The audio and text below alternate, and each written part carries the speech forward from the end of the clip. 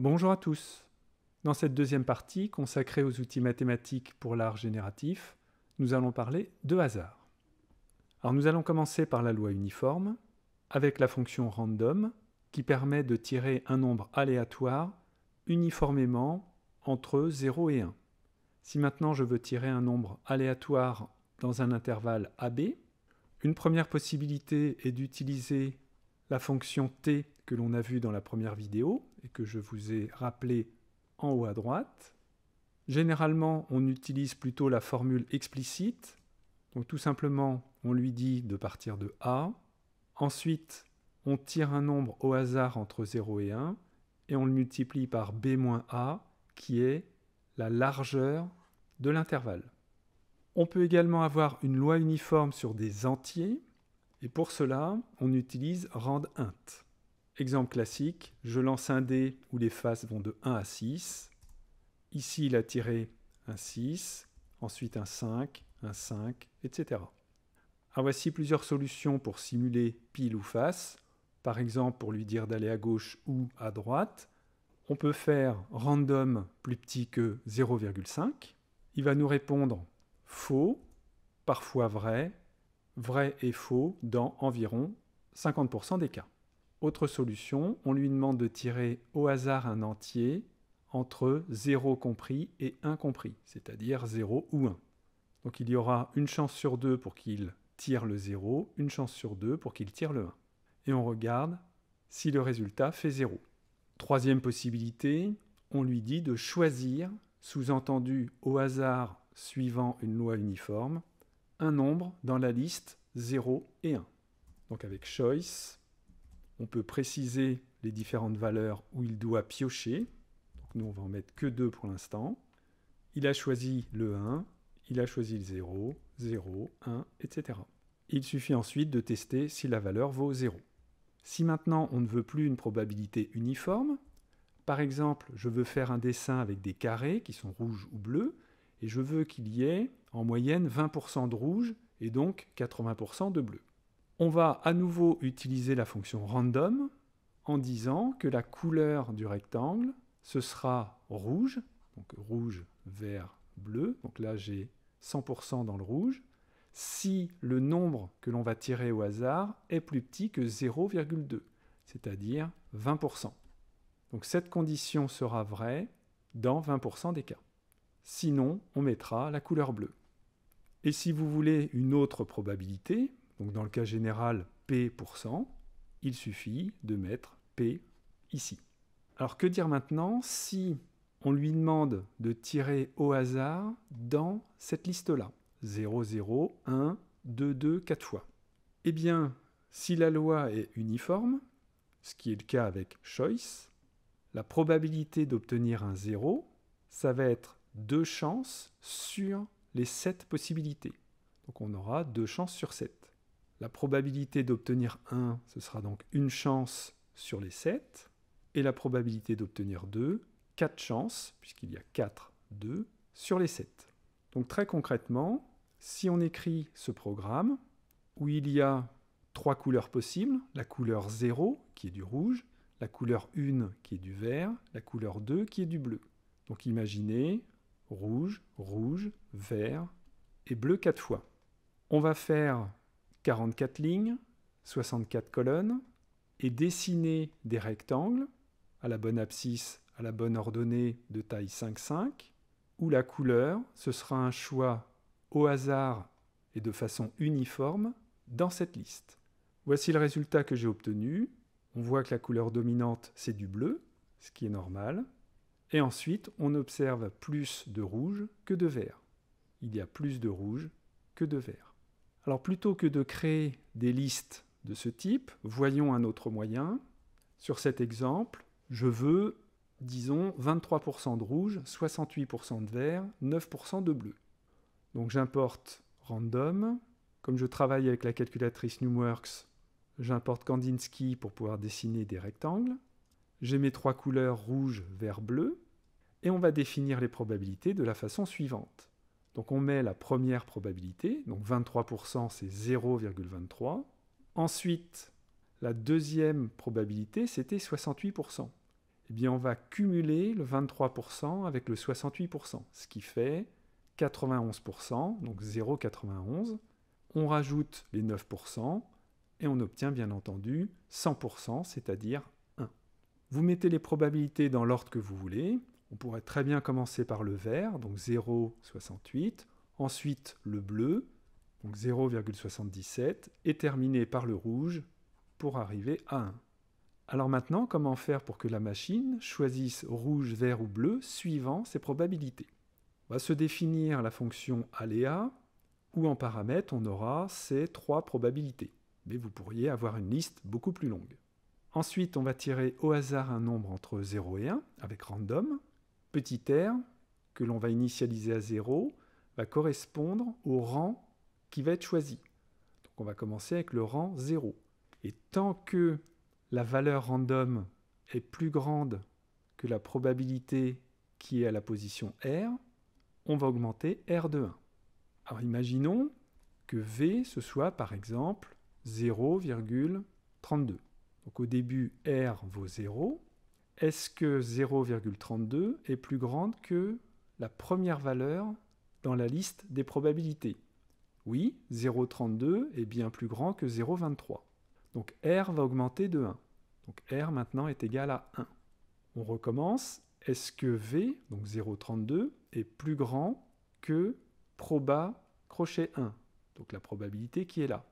Non. 0,32 n'est pas plus grand que 0,91. Donc on sort de cette boucle et on renvoie R. Donc ici, il renverrait 1. Pour comprendre un peu mieux pourquoi ça marche, si on tire un nombre au hasard entre 0 et 1, on a bien 23% de chance qu'il soit entre 0 et 0,23. Donc il soit plus petit que cette valeur-là. Si ce n'est pas le cas, quelle est la probabilité qu'elle soit entre 0,23 et 0,91 eh Il suffit de faire la différence, 91 moins 23, c'est-à-dire les 68%. De la même façon, la probabilité que random soit entre 0,91 et 1, c'est 1 moins 0,91, c'est-à-dire 9%. Alors si on fait le dessin, avec 44 lignes, 64 colonnes, et je dessine toujours des rectangles de taille 5,5, avec la couleur qui est un nombre au hasard entre 0 et 2, qui me permettra de définir la couleur, suivant ces probabilités-là. J'ai obtenu ce dessin, on voit qu'il y a essentiellement du vert, ce qui est normal, 68%. Ensuite, on voit plus de rouge que de bleu. Alors voici comment on peut obtenir très facilement ce type de dégradé. Donc j'ai toujours mes deux bibliothèques. On va choisir une couleur de départ, donc 255, 250, 0 correspond à du jaune, et une couleur d'arrivée, ici, du violet. On va mettre l'ensemble de l'écran avec la couleur de départ, c'est-à-dire que tout va être jaune. Maintenant, on va parcourir les 220 lignes de l'écran, et pour chaque ligne, on va parcourir les 320 pixels de large. Et à chaque fois, on va mettre ou non un pixel violet. Eh bien tout simplement, on va tirer au hasard un nombre entre 0 et 1, et s'il est plus petit que le numéro de la ligne divisé par 222, donc au début L va être égal à 0. Donc ça veut dire qu'en tirant un nombre, on se demande est-ce qu'il est plus petit que 0 Il ne sera jamais plus petit que 0, donc on ne mettra jamais de pixels avec la couleur d'arrivée. C'est pour ça que la première ligne, il n'y a que du jaune. Par contre, une fois que vous êtes à la dernière ligne, donc L égale à 221, divisé par 222, on est quasi à 1. Donc la probabilité que le nombre aléatoire soit plus petit que 1 sera toujours vérifié. C'est pour cette raison que sur la dernière ligne, vous n'avez que du violet. Alors voyons comment, toujours avec random, on peut obtenir ce type de visuel. Alors comment ce dessin a été fait? Il y a à chaque fois quatre triangles. Un en bas, un à gauche, un en haut, un à droite.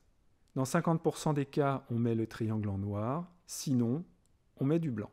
Si on modifie le paramètre avec 0,2, vous n'avez plus que 20% des triangles qui sont noirs.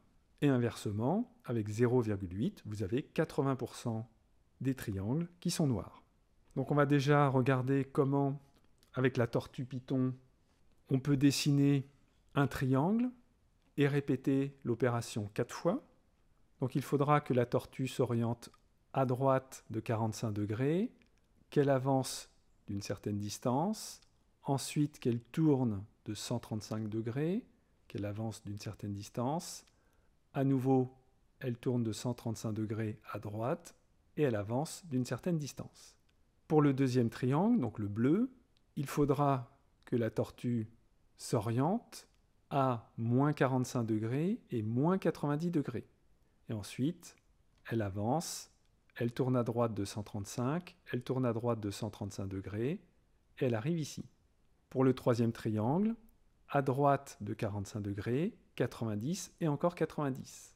Et pour le dernier, il faudra rajouter à nouveau 90 degrés. Alors on peut commencer, on importe Turtle, la bibliothèque random, je vais appeler T la tortue, je vais définir la couleur de remplissage qui va être du noir, donc 0, 0, 0, et on va lui expliquer comment dessiner un triangle. Plus précisément, quel numéro de triangle on veut, donc celui-ci va être le 0, le 1, le 2, le 3, et quelles vont être ses dimensions. Alors on commence le remplissage, on va orienter la tortue à moins 45 degrés et 90 fois le n. Donc si n vaut 0, on sera à moins 45. Si n vaut 1, on sera à moins 135, etc. Ensuite, il faut que l'on cherche les dimensions de ce triangle. Donc imaginons que l'on ait 1 de là à là. Donc la hauteur sera également 1. Et en appliquant le théorème de Pythagore, on trouve racine carrée de 2. Donc il faut avancer de racine carrée de 2, ensuite de 2, et à nouveau racine carrée de 2. Donc j'importe racine carrée du module math, et je lui dis qu'on aura trois valeurs, racine carrée 2, 2 et racine carrée de 2. Il avance de cette valeur-là fois la distance. Donc si j'ai décidé de mettre 10, il faudra avancer de 10 fois racine carrée de 2. Ensuite, on tourne à droite de 135 degrés. C'est ce que l'on a fait ici et là. Donc à la deuxième étape, il va avancer de 2 et tourner de 135 degrés. Et à la troisième étape, il avance de racine de 2 et il tourne à nouveau de 135 degrés, mais on va dire peu importe une fois qu'il est retourné au milieu. On termine le remplissage, donc la forme qui est ici aura comme couleur du noir. Et pour faire le carré complet, c'est-à-dire les quatre triangles, on va donc se faire une boucle de 0 à 3, et on va tirer au hasard un nombre, et s'il est plus petit que 0,5, on va lui demander à tracer le triangle numéro i qui aura une certaine dimension. Et pour faire le tableau complet, qui aura par exemple 20 colonnes, 20 lignes, on lève le crayon, on va à la bonne abscisse. Donc avec la tortue, l'origine est au milieu de l'écran. Donc je lui dis d'aller en moins 200 et à chaque fois d'ajouter 20 pixels. Donc il va aller de 20 en 20. Pour l'ordonnée, on va en moins 200, c'est-à-dire en bas, et on va augmenter de 20 en 20. On abaisse le crayon et on lui demande à faire un carré de taille 10. Alors j'ai tapé le programme, donc je vous mettrai le lien vers Python Sandbox sous la vidéo, et je le lance. Donc on voit qu'il dessine les triangles et qu'il en met certains en noir. Et la probabilité de le mettre en noir, elle est ici, donc de 0,5. Donc si j'enlève l'animation et que je relance, si maintenant je lui dis que dans 20% des cas, il doit me mettre un triangle noir, on a surtout du blanc, et si je mets 0,8, on a surtout du noir. Alors j'en ai déjà parlé dans plusieurs de mes vidéos, mais voyons rapidement comment on fait pour mélanger une liste en Python. Le plus simple, c'est si votre version de Python a la fonction shuffle. Dans ce cas-là, vous partez de votre liste, donc ici les entiers de 0 jusqu'à 5, et vous faites shuffle A, donc mélanger la liste A. Je demande le A, et on voit que les nombres ont été mélangés. Si vous n'avez pas shuffle, ce qui est généralement le cas pour les versions de Python sur les calculatrices. Première possibilité, c'est d'utiliser choice et de se définir soi-même shuffle. Comment mélanger une liste A? R, ça va être la liste finale qui sera mélangée, et C est une copie de la liste A. Ensuite, tant qu'il reste des éléments dans la liste du départ, on va lui dire de choisir au hasard un élément dans cette liste et d'ajouter cet élément-là à R. Donc il va par exemple tirer la valeur 8 et donc il va rajouter 8 dans R. Et d'enlever de C la valeur qui vient d'être tirée, c'est-à-dire la dernière valeur qu'il y a dans R. On continue jusqu'à temps qu'il n'y ait plus d'éléments dans C. Et à la fin, on retourne R. Plus court, on peut cette fois-ci utiliser random et se définir donc shuffle par trier la liste A en utilisant comme clé un nombre aléatoire. Alors comme application, essayons d'obtenir ce visuel. Donc sa particularité, c'est qu'on a un certain nombre de traits, en l'occurrence 80, et chaque départ est relié à une arrivée, mais il n'y a jamais de répétition. C'est-à-dire que si je prends un autre départ, il n'ira pas vers ce point-là. Donc il y a 80 départs en haut, 80 arrivées, et à chaque départ correspond une seule arrivée, et à chaque arrivée correspond un seul départ. Alors on va faire ça avec la tortue j'importe shuffle, où j'utilise une des fonctions que l'on a créées à l'instant. T, ça sera ma tortue. Vitesse maximale. On va cacher la tortue. Et pour les positions qui sont en bas, on va partir de la liste des entiers de 0 jusqu'à 79. Donc on aura bien 80 positions. On mélange bas. Et maintenant, pour i allant de 0 à 79, on va choisir la taille du crayon. Vous pourrez remarquer que certains traits sont plus épais que d'autres.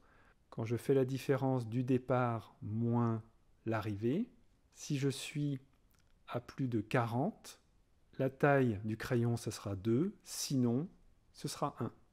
On lève le crayon, on va en moins 160, c'est-à-dire à gauche, plus 4 fois i, ordonnée 100. Donc 100, je vais être en haut et on va avancer de 4 pixels en 4 pixels. Donc on sera ici, 4 pixels plus loin, 4 pixels plus loin, jusque là. Et de cette position de départ, on va lui dire d'abaisser le crayon et d'aller en moins 160, donc toujours du côté gauche, plus 4 fois ce qu'il y a d'en bas à la position I. Donc comme bas a été mélangé, on va se retrouver à une position aléatoire. Alors voici le programme que je lance avec une tortue qui a comme vitesse 7. Donc il va parcourir les valeurs de 0 jusqu'à 79 et pour chacune des valeurs de départ, il rejoint une position aléatoire entre 0 et 79, mais de façon unique. Si j'enlève l'animation, on obtient tous ces visuels. Alors passons à deux dimensions avec déjà une loi uniforme sur un carré ou un disque. Donc je vais prendre trois couleurs, rouge, vert, bleu, et je vais tirer 10 000 points, plus précisément une coordonnée en x qui va être un nombre entier entre 160 et 320, y entre 110 et 220, et on lui dit de mettre un pixel à la position xy en choisissant au hasard parmi les trois couleurs. Voici le résultat sur cette machine où il y a 320 pixels de large, donc si x est entre 160 et 320, on est dans cette région-là, et qui a 220 pixels de hauteur, et on voit que les points sont assez bien répartis, c'est-à-dire qu'il y a à peu près autant de rouge que de bleu que de vert. Si maintenant vous voulez mettre des points uniformément sur un disque, donc on va se définir une fonction disque qui va être à la position UV, qui va correspondre au centre du disque avec un certain rayon. À nouveau, on va mettre 10 000 points. On va tirer x entre moins r et r. Pareil pour le y. Et on se rajoute ce test. x au carré plus y au carré, est-ce qu'il est plus petit que r au carré? Quand cette condition est vérifiée, c'est que xy bien dans un disque de rayon R. Si c'est le cas, on met un pixel en U plus X, V plus Y, c'est-à-dire que l'on décale le centre du cercle de U pour les abscisses et de V pour les ordonnées, et on choisit une couleur au hasard. Et à nouveau, on ne peut pas dire qu'il y ait une couleur dominante, on a bien une loi uniforme sur le disque. Alors comment faire maintenant si on ne veut plus avoir de couleur uniforme? Alors je vais placer 5000 points et à chaque fois de trois manières différentes. La première, ça va être d'utiliser random, donc un nombre entre 0 et 1, de le multiplier par 100, donc je vais être entre 0 et 100, et de prendre la partie entière. Deuxième façon de tirer nos 5000 nombres, on va faire 100 fois random fois random. Donc je vais avoir un nombre entre 0 et 1, que je vais multiplier par un nombre entre 0 et 1, qui ne sera pas le même. Donc j'aurai un nombre entre 0 et 1, et je multiplie le tout par 100. Donc j'aurai bien un nombre à nouveau entre 0 et 100. Donc les deux vont me donner un nombre entre 0 et 100. Et troisième façon, je vais faire 50 fois un nombre entre 0 et 1, plus 50 fois un nombre entre 0 et 1. Donc 50 plus 50, ça fait 100. Donc j'aurai encore une fois un nombre entre 0 et 1. Donc là, intuitivement, ce n'est pas du tout évident de savoir comment vont être répartis les points. Donc pour le savoir, on va partir d'un écran qui va être blanc, et lorsque l'on va positionner un point à l'écran, j'ai mis 3 fois A, donc 3 fois un nombre entre 0 et 100, ça fera un nombre entre 0 et 300, donc pratiquement l'autre bout de l'écran. On va déjà regarder quelle est la couleur du pixel qui est à l'endroit où moi je veux mettre un point. Donc quand le pixel est blanc, je vais avoir la couleur 255, 255, 255, et je lui dis de prendre la première valeur, donc le 255, et d'enlever 5. Donc finalement, d'utiliser la couleur 250.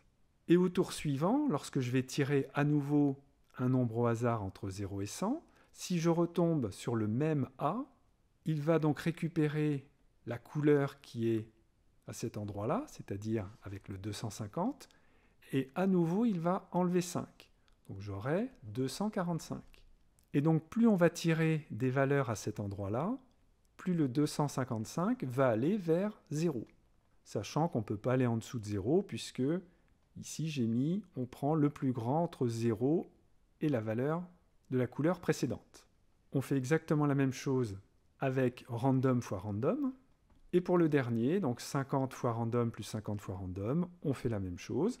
Et je lui dis de me faire des petits rectangles de taille 3 en largeur, 30 en hauteur, c'est-à-dire des rectangles comme ça, avec la couleur CA, la couleur CB et la couleur CC. Vous pouvez faire pause, essayer d'imaginer le visuel que l'on va obtenir, et je vous montre tout de suite la réponse. Donc pour le premier, qui est juste la loi uniforme, on voit qu'en prenant 5000 points, chaque position a été répétée suffisamment de fois pour arriver à du noir, alors que dans le deuxième cas, random fois random, la partie gauche est complètement noire, et plus on va vers la droite, plus on a des couleurs claires. Alors essayons de nous persuader que c'est logique. Si vous prenez un nombre au hasard entre 0 et 1, par exemple 0,7, et que vous prenez un autre nombre au hasard entre 0 et 1, par exemple 0,5. Si vous faites le produit des deux, 0,5 par 0,7, ça vous fait 0,35. Donc un nombre qui va être plus petit que ces deux valeurs. Et donc le 0,35 va être par ici. Et pour avoir une valeur grande, par exemple 0,9, imaginons j'ai 0,9 et l'autre j'ai aussi 0,9. Donc vous voyez que ces valeurs ne sont même pas assez grandes pour arriver à 0,9. Et pour le dernier, 50 random plus 50 random, on voit qu'il y a eu beaucoup de répétitions au milieu, assez peu du côté gauche et assez peu du côté droit. Alors pour comprendre pourquoi ce visuel est naturel, au lieu de 50 fois random, imaginez que vous tiriez un dé, c'est-à-dire une valeur entre 1 et 6, et 50 fois random, à nouveau un dé entre 1 et 6. Donc vous auriez, en faisant la somme des deux, une valeur entre 2 et 12.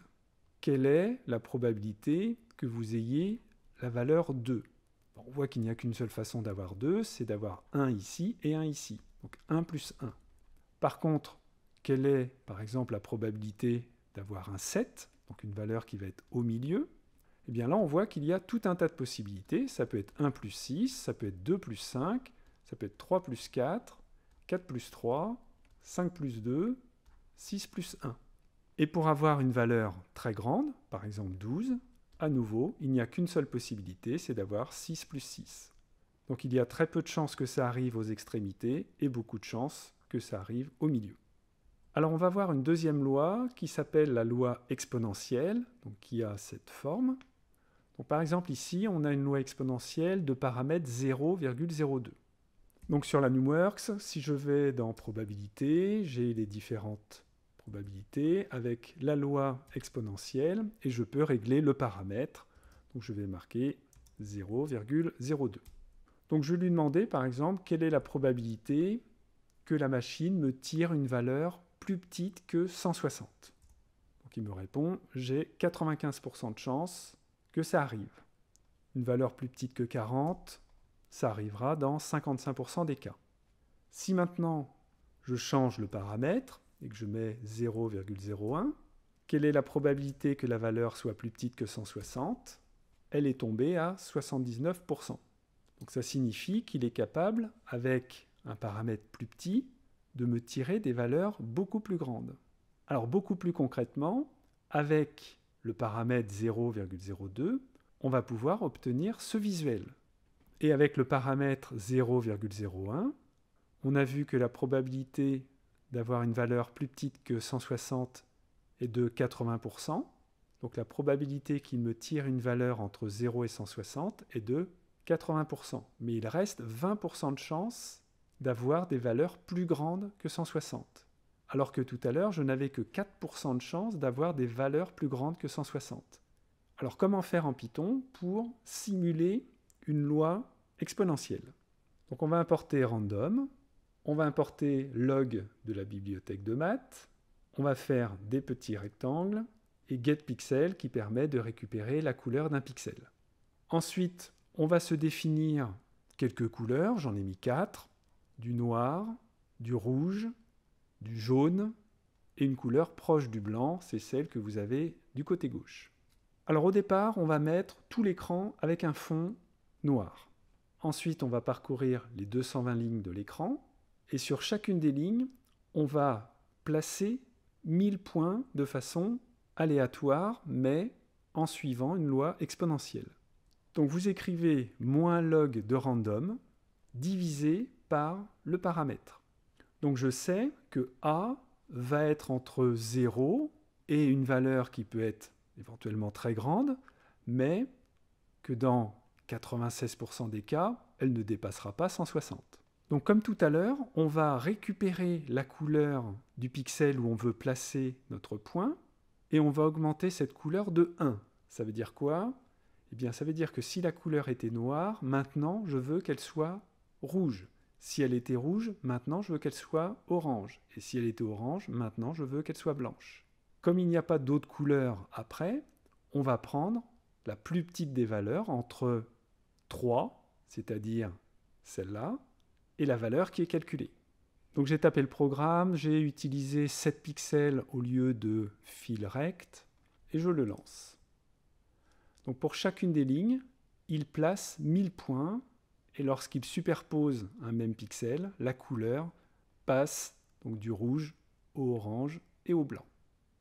Alors voici exactement le même programme, mais au lieu d'utiliser la loi exponentielle, j'ai mis random fois random.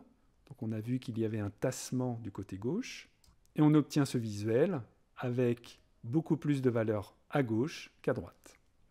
Alors voici également un motif que l'on peut obtenir très facilement avec le même principe. Alors on va commencer par remplir l'écran en noir et on va répéter trois fois ce qui est là, à savoir pour chacune des lignes, donc par exemple le L il est à 60. On va prendre y égale à L et on va maintenant parcourir les 320 colonnes. Et à chaque étape, le y, qui au départ est à 60, va augmenter de 2 fois random moins 0,5. Donc random, que je vais noter R, est entre 0 et 1. Si j'enlève 0,5, je vais me retrouver entre moins 0,5 et 0,5, c'est-à-dire un nombre qui peut être négatif ou positif. Si je multiplie par 2, je serai entre moins 1 et 1. Donc mon y va pouvoir légèrement augmenter ou au contraire baisser. Donc passer par exemple de 60 à 59,8 ou au contraire arriver en 60,3. Je regarde la couleur du pixel qui est à l'écran et je l'augmente de 50, c'est-à-dire que je vais éclaircir ce qui était noir. Et on s'arrange pour ne pas dépasser 255 qui est donc le blanc. Alors vous allez mieux comprendre avec le visuel. Donc à chaque étape, il trace des lignes, mais le trait va plus ou moins augmenter. Une fois qu'il est donc en bas, il recommence et il trace à nouveau des traits. Et lorsqu'il y avait du gris, la couleur va encore s'éclaircir. Donc il y a un cumul à chaque fois de plus 50, et donc on obtient finalement ce visuel. En transformant très légèrement ce programme, on peut obtenir par exemple un fond sous-marin. Il suffit de changer la couleur de remplissage et de lui demander à ne pas parcourir toutes les lignes. Alors terminons avec les marches aléatoires. Donc là, exemple avec la tortue. Je lui dis de répéter sans fin, se mettre dans une direction au hasard entre 0 et 359, donc en degrés, et d'avancer de 1. Donc voilà ce que l'on obtient. Je mets 5 pour que l'on voit mieux à l'écran. Donc la tortue prend une direction au hasard à chaque fois et avance de 5 pixels. Eh bien, en ajoutant une très légère contrainte, on peut obtenir des visuels de ce type. Alors, comment on fait ça? Eh bien, donc, on va importer euh, la tortue, randint, random, la fonction logarithme si on a envie d'utiliser la loi exponentielle. T va être ma tortue. On va faire une boucle infinie. On va récupérer la position de la tortue. Et si la distance entre l'origine, c'est-à-dire le centre de l'écran, est plus grand que 100, donc là c'est à nouveau le théorème de Pythagore, x au carré plus y au carré plus petit que 100 au carré, ça veut dire être dans le disque, et plus grand que 100 au carré, ça veut dire être à l'extérieur du disque. Donc si on est à l'extérieur d'un disque de rayon 100, on lève le crayon et on revient au milieu, c'est-à-dire qu'on revient ici.